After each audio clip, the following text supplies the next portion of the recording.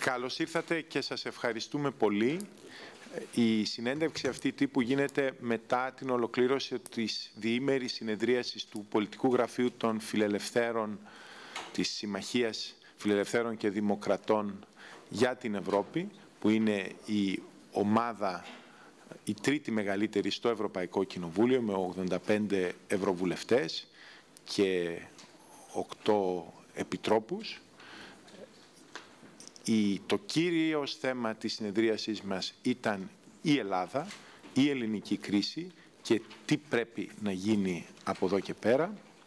Και θα ε, ε σας μιλήσουν ε, και ο Γκίφερ Χόφστατ, ο πρόεδρος της ομάδας μας και ε, ε, του Βελγίου για πολλά χρόνια.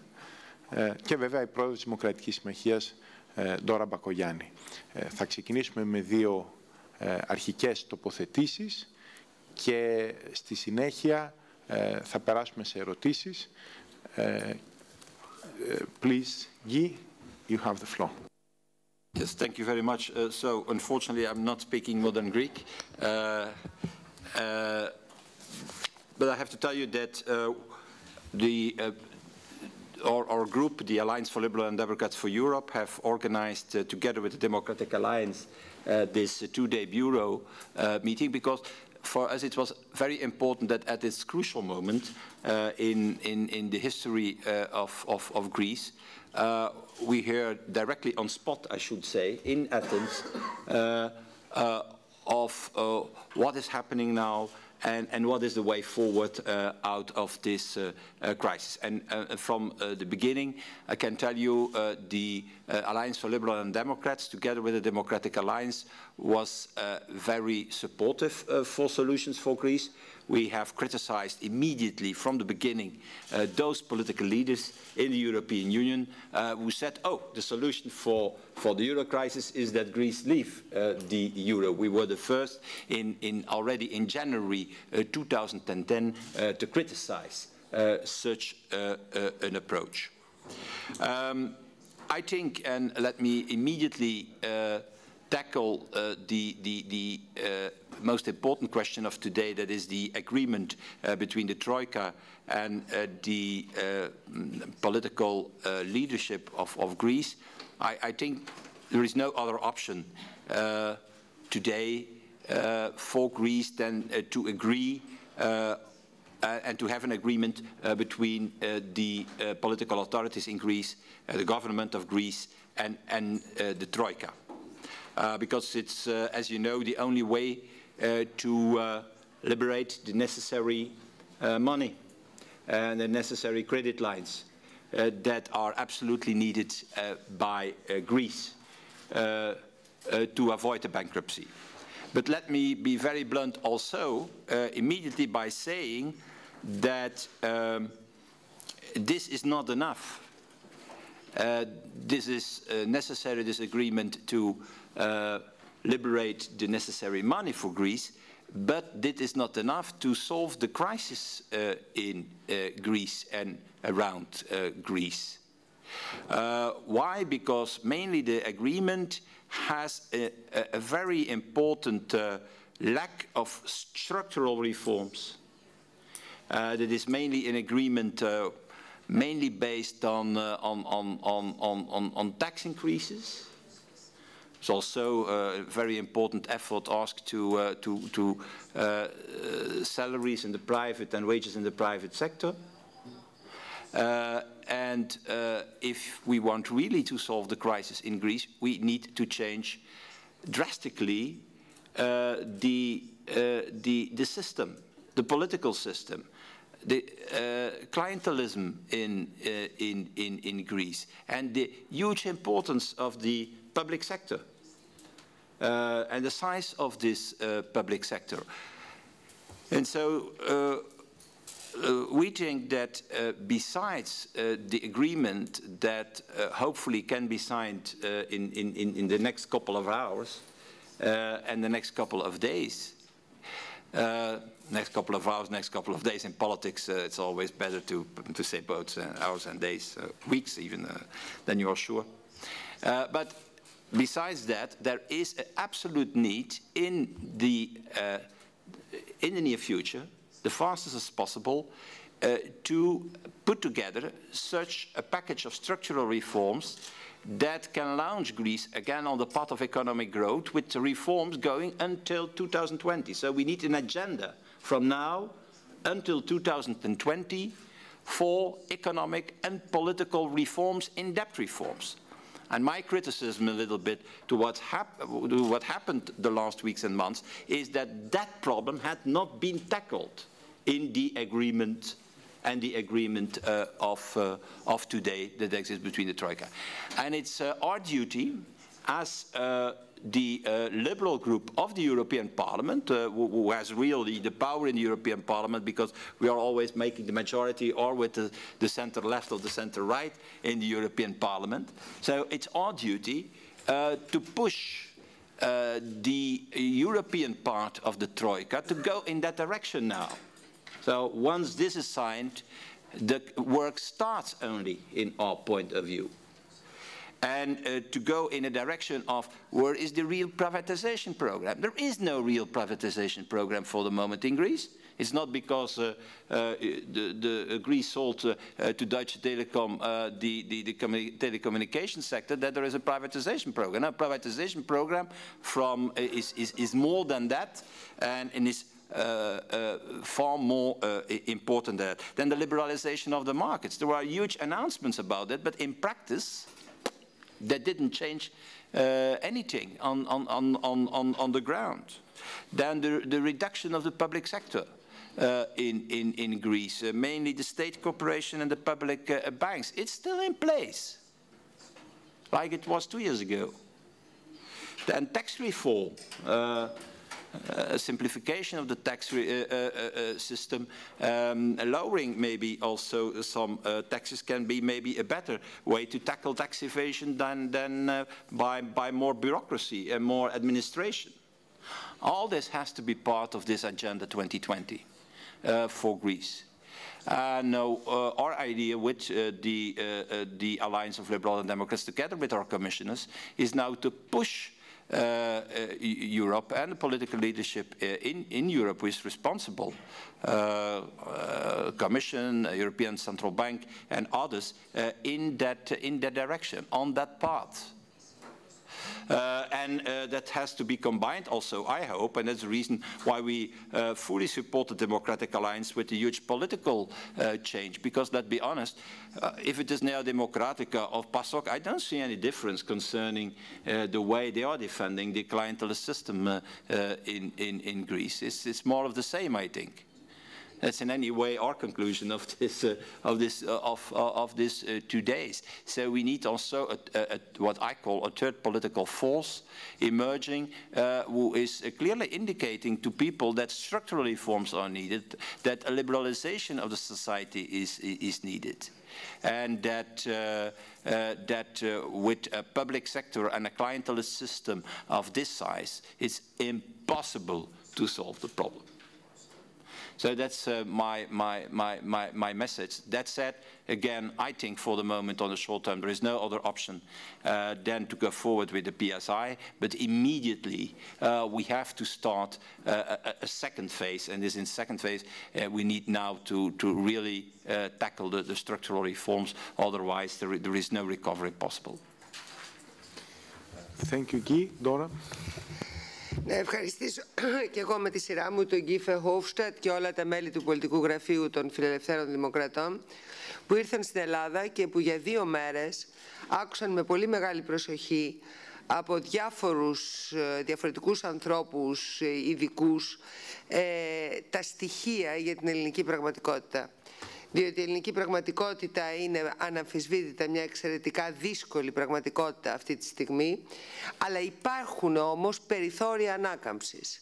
Και αυτό είχαμε την ευκαιρία με πολύ τεκμηριωμένες ε, ε, παρουσιάσεις να τους το δείξουμε για να συμφωνήσουμε πλέον όλοι μαζί σε αυτό το οποίο ο Γκίφε Χόφστατς σε ανήκει λέει ήδη πριν, ότι αυτό το οποίο χρειάζεται πέραν της όποιας συμφωνίας υπάρξει σήμερα ε, μεταξύ των ε, αρχηγών των τριών κομμάτων και της Τρόικας.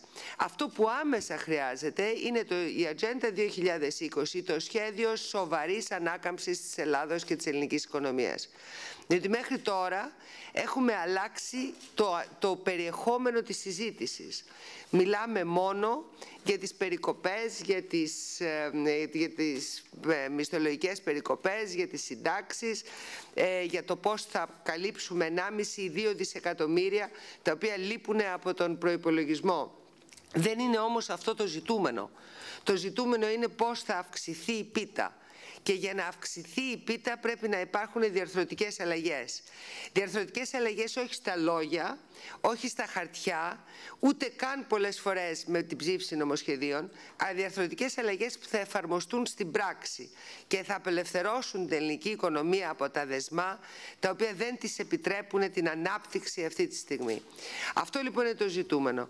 Πέραν αυτού ισχύει αυτό το οποίο είχαμε περάσει και σε απόφαση κοινή του, της Δημοκρατικής Συμμαχίας και των Φιλελευθέρων Δημοκρατών, ότι θα προχωρήσουμε και, και θα πιέσουμε από την πλευρά της Ευρωπαϊκής Ένωσης πέραν της εφαρμογής των διαρθρωτικών αλλαγών γιατί οι δικές μας διαφωνίες με την Τρόικα είναι πάρα πολύ μεγάλες.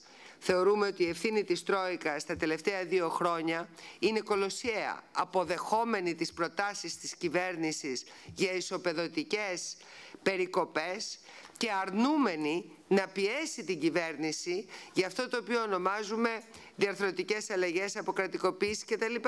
Και έρχεται τώρα, δύο χρόνια μετά, να διαπιστώσει την αποτυχία του προγράμματος και τώρα να ξεκινήσει να μιλάει για διαρθρωτικές αλλαγές, κάτι που έπρεπε να είχε κάνει εδώ και δύο χρόνια. Και βεβαίως το τίμημα είναι πολύ μεγάλο ε, για τον ε, Έλληνα πολίτη σήμερα. Εν πάση περιπτώσει, ό,τι μας αφορά, εμείς ξεκινάμε για την επόμενη μέρα. Η επόμενη μέρα είναι η Ατζέντα 2020. Η επόμενη μέρα είναι αυτή η ατζέντα να έχει και ένα επενδυτικό πρόγραμμα έτσι ώστε να μπορέσει να δώσει την απάντηση στην ε, παινία των επενδύσεων σήμερα στην Ελλάδα, η οποία οφείλεται και στο ρίσκο το ονομαζόμενο ρίσκο του κράτους, δηλαδή φοβούνται να επενδύσουν στην Ελλάδα. Αυτό το φόβο πρέπει να τον απαντήσουμε με ένα πρόγραμμα στήριξης και από την άλλη μεριά βεβαίως πρέπει να κάνουμε τα του οίκου μας, να μπορέσουμε επιτέλους να έχουμε επενδύσεις σε αυτή τη χώρα και όχι να τις αποτρέπουμε με τον τρόπο που τις αποτρέπουμε σήμερα που ακόμα μετά από δύο χρόνια συζήτησης για να κάνεις μια επένδυση στην Ελλάδα θέλεις τουλάχιστον έξι μήνες όταν σε άλλες χώρες τρεις μέρες είναι αρκετές. Αυτή είναι η, αυτές είναι οι αποφάσεις. Η, η συνεργασία μεταξύ της Δημοκρατικής Συμμαχίας και των φιλελευθέρων, όπως βλέπετε, είναι εξαιρετικά στενή. Ξέρουμε ότι το μέλλον της χώρας μας θα περάσει μέσα από την Ευρώπη. Χρειαζόμαστε τη στήριξη των ε, δυνάμεων των φιλελεύθερων δημοκρατών, διότι είναι πάρα πολύ αποτελεσματική, ιδιαίτερα σε θέματα οικονομίας και πιστεύουμε ότι με την Ατζέντα 2020 που θα παρουσιάσουμε θα έχουμε ένα σχέδιο το οποίο θα καταθέσουμε ως εθνικό σχέδιο εξόδου από την κρίση και στις άλλες πολιτικές δυνάμεις για να υπάρξει ευρύτερη δυνατή συμφωνία πάνω στο σχέδιο αυτό. Σας ευχαριστώ. Ευχαριστούμε. Ε, θα προχωρήσουμε τώρα σε ερωτήσεις. Ε, παρακαλώ. Ήθελα να ρωτήσω και την ε, κυρία Πακογιάννη και τον κύριο Φεχόφστατ δύο πράγματα. Μιλήσατε και οι δύο για διαρθρωτικές αλλαγές, αλλά αναρωτιέμαι πώς είναι δυνατόν να γίνουν ιδιωτικοποιήσεις, για παράδειγμα, όταν αυτή τη στιγμή έχουν χάσει την αξία τους κατά πολύ οι ελληνικές ε, επιχειρήσεις που ανήκουν στο δημόσιο. Επίσης, ήθελα να ζητήσω την άποψή σας για την ε, πρόταση που άκουσα χθες από την κυρία Μέρκελ και τον κύριο Σαρκοζή για δημιουργία ειδικού ταμείου αποπληρωμής του ελληνικού χρέους, ώστε πια να μην κινδυνεύει ε, ποτέ η Ελλάδα ε, να χρεοκοπήσει αφού οι ομολογιούχοι θα πληρώνονται από εκεί.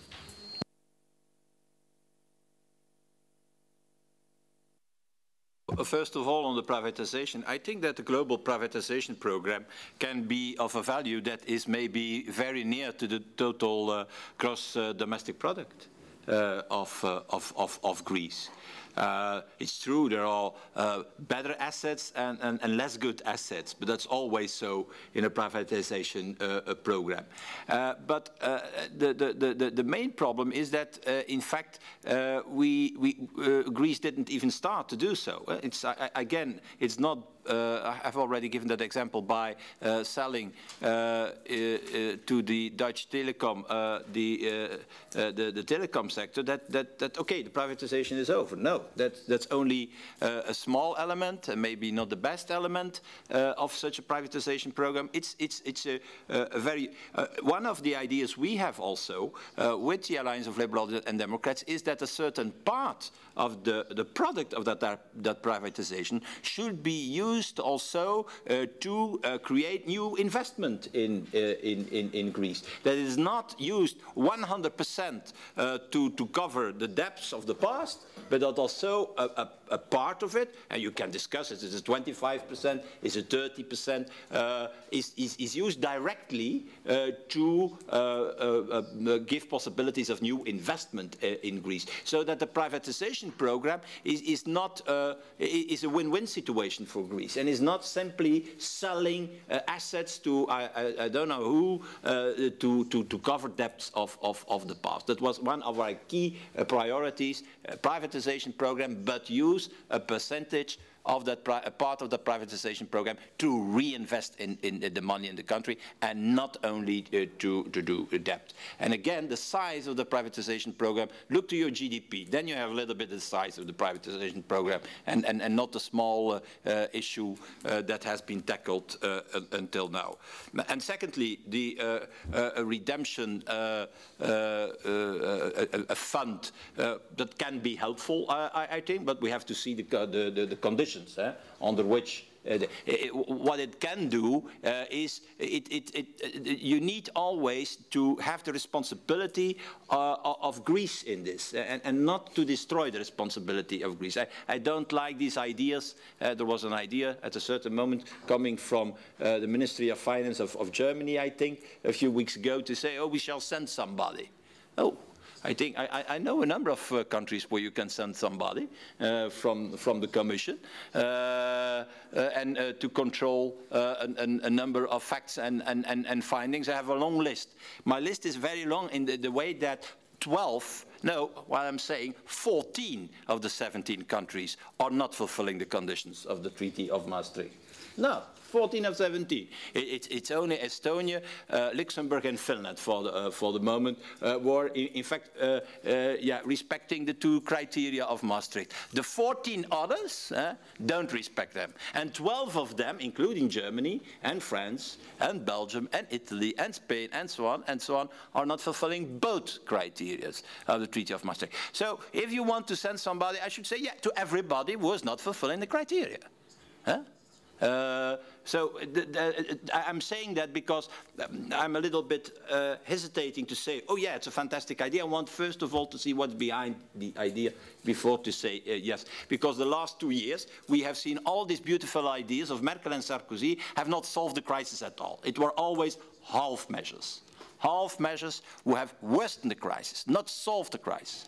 And you know why? Because the main problem is not tackled, and it has nothing to do directly with, with Greece, but with all the other countries, and that's the problem of the solidarity inside the Union. Fiscal discipline, we did the six-pack in the Parliament. We are now discussing a two-pack. We did the treaty. I negotiated for the Parliament uh, the new uh, treaty on, on, on, the fiscal uh, uh compact. Now it is time also to have a solution to lower the interest rates.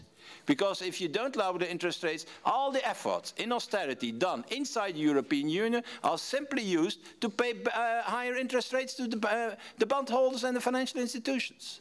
And we can do it uh, with discipline. There is the idea of redemption fund. Uh, mm, put on the table by, by uh, five wise German economists, so it's a good idea, comes from Germany, can no be a problem. Uh, and, and, and, and that's the way we have to go forward. Time is, it, it's, we have enough of the half measures taken the last uh, uh, uh, two years. And, and, and that's a little bit, even when I see no other option than agreeing on, on, on this P, P, PSI, I'm simply warning you that besides the PSI, there is a whole other work to do that is far more important even than the PSI, and that is the reform of the country. And if I have some critics to the Troika, is it, why didn't you push more for these structural reforms? Then at the end say easily, okay, uh, everybody in the private sector lowering wages. That's the easy way. The most difficult way in politics and the art of politics is to, is to do the, the, the real tough work. And the tough work is the reform of the Greek state. That's the tough work. Να απαντήσω και εγώ με τη σειρά μου. Υπάρχουν δύο θέματα. Το ένα το οποίο θίξετε είναι αν μπορεί να υπάρξουν ιδιωτικοποίησεις αυτή τη στιγμή. Η απάντηση είναι ναι, μπορούν. Δεν είναι η αξιοποίηση της περιουσίας μόνο έτσι όπως τη φαντάζεστε, που η Δημοκρατική Συμμαχία πρώτη και μόνη, θυμίζω, είχε πει ότι τα 50 δισεκατομμύρια τα οποία ε, πίστευε η Νέα Δημοκρατία στην αρχή και μετά και η κυβέρνηση του Πασόκ ότι μπορούν να βρεθούν ήταν εκτός κάθε πραγματικότητας διότι δεν μπορεί να αξιοποιηθούν παραπάνω το πολύ πολύ από 5,5 δισεκατομμύρια μέσα στο ε, χρονικό διάστημα δηλαδή των επόμενων δύο ετών αλλά ιδιωτικοποιήσεις μπορούν να γίνουν. Οι ιδιωτικοποιήσεις μπορούν να γίνουν. Τώρα διάβαζα σήμερα το πρωί, παραδείγματος χάρη, ότι η Βραζιλία έδωσε τρία αεροδρόμια. Λοιπόν, βεβαίως υπάρχει και βεβαίως υπάρχει ενδιαφέρον και βεβαίως αυτές οι τιμές δεν είναι εξευτελισμένε. Είτε πρόκειται για ε, ιδιωτικοποίηση στον χώρο της ενέργειας, όπου δεν έχει γίνει απολύτως τίποτα, είτε στη ΔΕΣΦΑ, ΔΕΠΑ, όπου υπάρχει ένα ευρύτερο διεθνές ενδιαφέρον αυτή τη στιγμή. Είτε αυτό πρόκειται για τα αεροδρόμια που είχε γίνει μελέτη και έμεινε άλλη μία μελέτη στα χαρτιά, όπου και θέσεις εργασίας δημιουργούνται και ανάπτυξη υπάρχει και χρήματα έρχονται στην ελληνική οικονομία. Αυτά πρέπει να προχωρήσουν και πρέπει να προχωρήσουν άμεσα. Και σήμερα δεν υπάρχει διάθεση από κανέναν να τα προχωρήσει. Αλλά μεταξύ του να κάνουμε αυτή την πολιτική και να εξοντώνουμε τον Έλληνα μισθωτό, με συγχωρείτε πάρα πολύ, υπάρχει άλλος δρόμος και αυτός είναι ο δρόμος τον οποίο προτείνουμε εμείς. Η δυνατότητα να κάνουμε ιδιωτικοποιήσεις και να συζητήσουμε τον τρόπο με τον οποίο θα διαμορφωθεί το τίμημα έτσι ώστε να υπάρχει δυνατότητα να κερδίσει και ο Έλληνας και ο Ευρωπαίος φορολογούμενος από την επιτυχία της ιδιωτικοποίησης και να μην είναι πουλάμε και τελειώσαμε, έτσι ώστε να μην έχουμε τιμές ε, εξευτελιστικές, είναι κρίσιμο θέμα μέσα σε αυτά τα θέματα τα οποία προτιθέμεθα να θέσουμε και προς την ε, ε, προς την πλευρά των Ευρωπαίων. Διότι έχει λογική. Και όταν έχεις λογικές θέσεις, μπορούν να περπατήσουν στην Ευρώπη. Α, ναι, δεν απάντησα. Ε, είναι νωρίς ακόμα να, να εκτιμήσω πώς θα διαμορφωθεί αυτό το ταμείο. Εάν αυτό το ταμείο είναι ένα ταμείο το οποίο θα διασφαλίζει, αν θέλετε, θα δημιουργεί μία εμπιστοσύνη ε, στις ευρύτερες αγορές ότι η Ελλάδα αποκλείεται να χρεοκοπήσει, είναι ένα θέμα το οποίο πρέπει να δούμε ή εάν λειτουργούν με τη λογική η οποία μα, ακούγεται από το πρωί αλλά εμείς είμαστε και πάντοτε ειδικοί στα κακά σενάρια ε, ότι καλύπτουν μόνο τις δικές τους τράπεζες και αφήνουν από εκεί και πέρα τη χώρα ε, στο έλεος των αποφάσεών της. Είναι ακόμα νωρίς. Έχω ακούσει πολλές εξαγγελίες από την κυρία Μέρκελ και τον κύριο Σαρκοζή, από τις οποίες λίγες έχουν υλοποιηθεί μέχρι τώρα. Ε, Μόλις δούμε κάτι συγκεκριμένο, θα είμαστε έτοιμοι να, να απαντήσουμε. Να προσθέσω απλώς και μόνο στο προηγούμενο θέμα. Είναι πάρα πολύ σημαντικό αυτό που συμφωνήσαμε με τον Γκίφε Χόφστατ, ότι ένα ποσοστό από τις ιδιωτικοποιήσεις θα περάσει άμεσα σε νέες ελληνικές επενδύσεις. Αυτό είναι ένα θέμα το οποίο το κυνηγάμε έξι μήνες τώρα. Εάν αυτό γίνει ευρωπαϊκή πολιτική, σας διαβεβαιώ ότι θα υπάρξει ενδιαφέρον για επενδύσεις και νέες θέσεις εργασίας σε αυτή τη χώρα. Ο κύριος Παλίκαρης. Ε, μία ερώτηση προς την κυρία Μπακογιάννη. Η Δημοκρατική Συμμαχία θα ψηφίσει στη Βουλή την ε, συμφωνία που όπως όλα δείχνουν ε, θα επικυρωθεί από τους πολιτικούς αρχηγούς και την κυβέρνηση. Και μία ερώτηση για τον κύριο Φερχόευστατ. Εάν το ελληνικό κοινοβούλιο δεν ψηφίσει, δεν επικυρώσει τη συμφωνία αυτή, υπάρχει στην Ευρώπη Plan B για την επόμενη μέρα;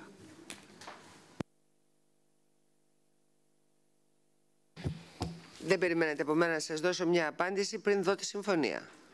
Θα τη δω τη συμφωνία και από εκεί και πέρα η στάση της Δημοκρατικής Συμμαχίας έχει αποδειχθεί νομίζω αυτά τα τελευταία, τα τελευταία δύο χρόνια που υπάρχει ότι είναι μια στάση ευθύνης απέναντι στη χώρα και απέναντι στους πολίτες της. No.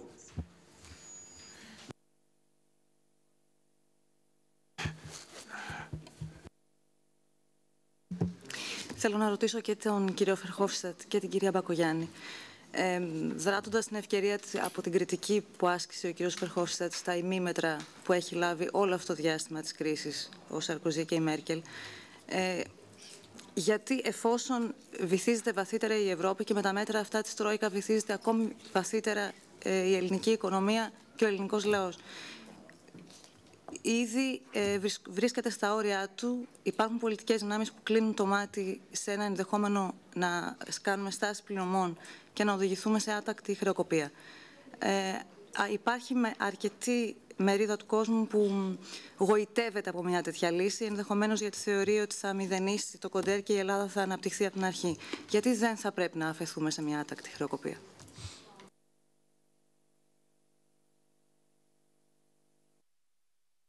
because the contagion to uh, the whole it's not only a question of Greece. First of all, it is a question for Greece. I think it should be a better solution for Greece.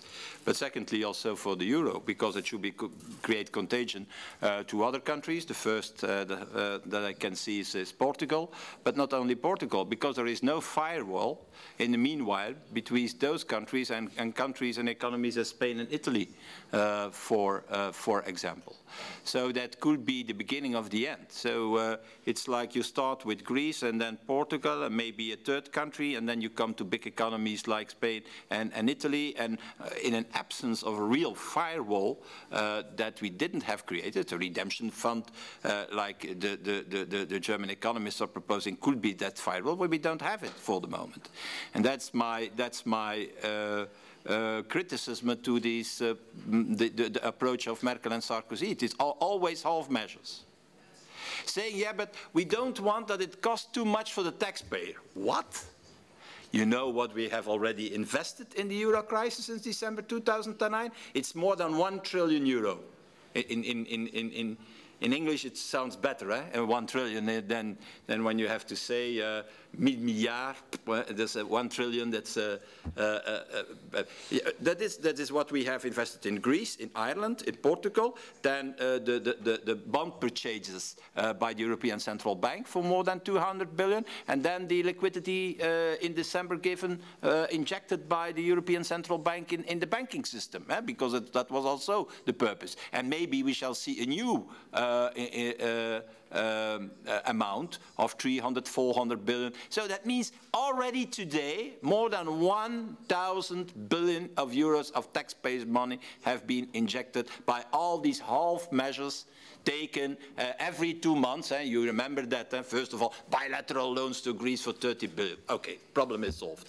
Two weeks later, oh, it, it isn't solved. 100 billion of, of bilateral loans to Greece. Oh, problem is not solved. Oh, we create an EFSF uh, a, a, a, European Rescue Fund. Oh, we shall give leverage to the Europe, uh, enlarge the European Rescue Fund. Oh, we shall give leverage to the European Rescue Fund. Oh, we shall uh, start immediately uh, with the ESM, eh? not at, uh, in 2013, but in the middle of 2012. And all the time, it are these half measures who are becoming too, who are seen by the markets as too little, too late, and are not convincing at all. But they cost more than one trillion euro already, all these half measures. At the end, such an approach of half measures, instead of taking real bold reforms from the beginning, cost more for the taxpayer. And so my message is, in fact, what Merkel and Sarkozy are doing is, in fact, taking half measures and let them pay by taxpayers. And if we should have an Eurobond market, for example, already from the beginning, or a real rescue fund uh, with 2 trillion uh, euro, uh, as the German uh, economists have proposed, that should cost uh, far less to the, to the taxpayers. Because then it is by creating liquidity, lowering the interest rates in, in Europe, that we should pay less interest rates to the bondholders and the financial institutions. Instead of asking all the time an additional amount to the taxpayers. So my, my, my position is, my opinion is, what they are doing, this bo both leaders, is in fact bad for the taxpayers. And if they had chosen from the beginning real bold reforms, a Eurobond market, a redemption fund, and so on, and, and, and a rescue fund with a number of trillions in it, that should have cost less to the taxpayers than what they have already paid today. So they are bad for taxpayers, instead of defending their interests, what they are saying. Οι πολιτικές δυνάμεις που σήμερα για να κερδίσουν ψήφους κλείνουν το μάτι στη δραχμή, πρέπει να πούν στους Έλληνες ότι στην περίπτωση που η χώρα είχε άτακτη χρεοκοπία και γυρίζαμε στη δραχμή, το εισόδημα που σήμερα κατά μέσο όρο μειώνεται κατά 20 με 25% θα μειωνόταν κατά 80 με 85%. Θα έπρεπε να πούν και λυπάμαι πάρα πολύ που το παιχνίδι αυτό το παίζουν και πάρα πολλά μέσα ενημέρωσης τα οποία δεν ρωτούν ποτέ την πολύ απλή ερώτηση. Πώς θα εισάγει η Ελλάδα ενέργεια; Πώς θα εισάγει η Ελλάδα πετρέλαιο; Πώς θα εισάγει η Ελλάδα φάρμακα; Ας μας δώσει μια απάντηση ο κύριος Τσίπρας και εγώ είμαι έτοιμη να την ακούσω αλλά μέχρι τότε το να παραπλανούμε τους Έλληνες, να τους λέμε άλλα λόγια να αγαπιόμαστε, να αφήνουμε να εννοηθεί περίπου ότι εάν γυρίσουμε στη δραχμή η Ελλάδα θα λειτουργεί σαν την Ελλάδα του 2000, δεν είναι μόνο ψέμα, είναι έγκλημα. Είναι έγκλημα διότι αφήνει σε έναν ολόκληρο κόσμο να πιστεύει πράγματα τα οποία είναι τελό, εντελώς εκτός τόπου και χρόνου. Αν μου επιτρέπετε μία μόνο λέξη εδώ, το κλειδί για ένα νόμισμα είναι η αξιοπιστία του. Για να μπορεί να έχει αξία για τον λαό που το έχει. Ποιος τρελός μόλις έχει μειώσει το χρέος του κατά 70% δεν έχει εκπληρώσει τις υποχρεώσεις του ή έχει μηδενίσει το χρέος του, μπορεί να φτιάξει ξαφνικά δικό του νόμισμα τη στιγμή που έχει μηδενική αξιοπιστία. Πρόκειται για παραφροσύνη. Κυρία Τασούλη. Mr. Verhofstadt, I would like to ask you a question. Um, do you believe an election should be necessary uh, to take place after the PSI and the new agreement should be uh, implemented by the Greek Parliament? Can the election outcome may be a factor to put forward the ambitious agenda of uh, 2020 that you mentioned earlier? Και κύριε Μπακογιάννη, πιστεύετε ότι ε, θα μπορέσουμε να πάμε σε εκλογές εάν περάσει συμφωνία από την Ελληνική Βουλή?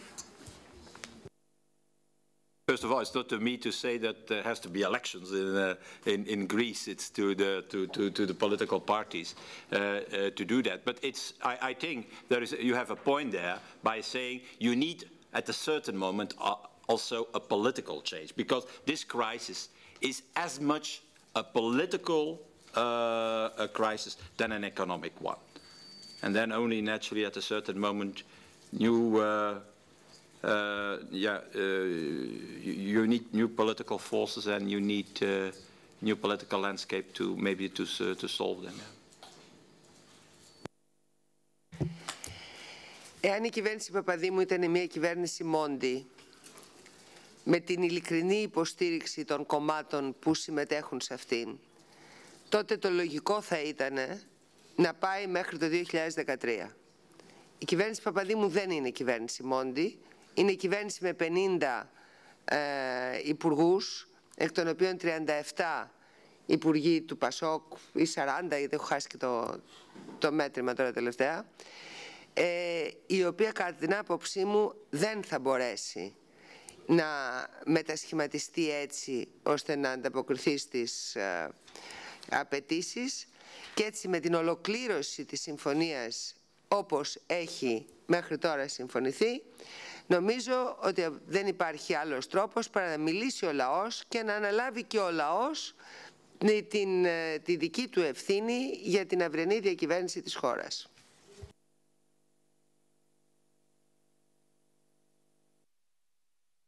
Σας ευχαριστούμε. Α,